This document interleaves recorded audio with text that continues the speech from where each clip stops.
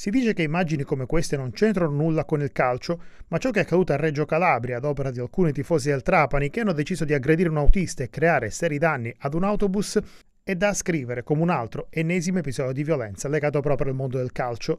La condanna, unanime, ci mancherebbe, è la base alla quale partire, ma non più sufficiente. Il tutto mentre cresce l'attesa per il derby del 26 novembre al Ceravolo. Di fronte ci saranno Catanzaro e Cosenza in un match che si preannuncia caldo sotto tanti punti di vista, ma che lo stesso direttore sportivo del Cosenza Gemmi ha definito una vera e propria occasione per la Calabria. Ci si augura possa essere così anche grazie a due squadre che stanno giocando un grande campionato.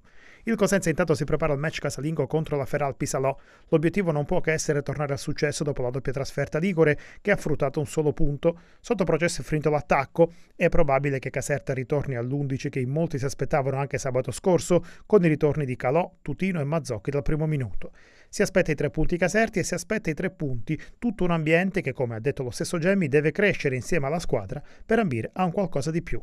Per una volta invece si è parlato anche delle difficoltà incontrate all'attacco del Catanzaro, che è tornato da Como con una sconfitta e per la prima volta senza aver messo in mostra il gioco che ne ha contraddistinto questa prima parte di stagione. Per i giallorossi il match contro il Modena rappresenta un test importante anche per capire quelle che possono essere le reali ambizioni di una squadra che fino a questo momento ha stupito tutti. Vivarini pian piano sta inserendo i nuovi, ma molto probabilmente anche contro gli emiliani si affiderà ad un 11 composto prevalentemente da giocatori che da oltre un anno stanno lavorando con lui. L'inserimento dei nuovi però potrebbe garantire quel di più che passa da questa gara casalinga, ma anche dalla prossima trasferta a Venezia.